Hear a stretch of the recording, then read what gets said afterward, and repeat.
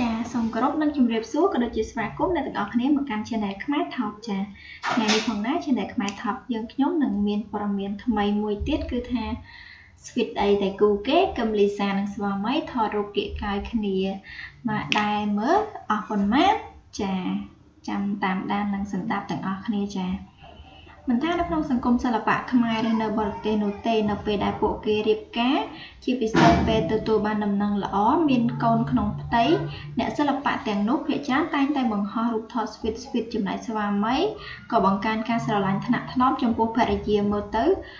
គ្រួសារទាំងមូលពោពេញទៅដោយសុភមង្គល ចាតារាសម្ដែងសាច់សខ្ចីអ្នកនាងកឹមលីសាក៏មិនខុសអ្វីពីតារាដតីប៉ុន្មាននោះដែរដោយពពោះកូនទី2នេះអ្នកនាងបានទទួលការ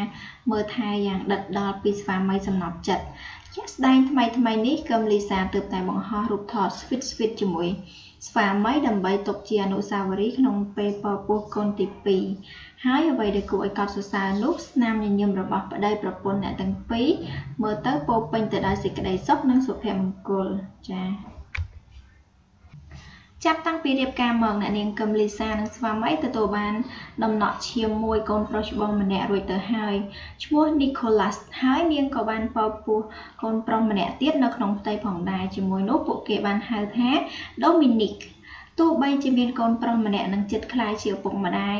របស់កូនទី2ហើយប៉ុន្តែភាពល្អល្អរបស់ប្តីប្រពន្ធមួយគូនេះគឺរឹតតែផ្អែមល្ហែមដូចទឹកឃ្មុំចា៎ ចាព័ត៌មានដែលយើងខ្ញុំបានជម្រាបជូនដល់អស់លោកអ្នកគឺមានតែប៉ុណ្្នឹងឯងចា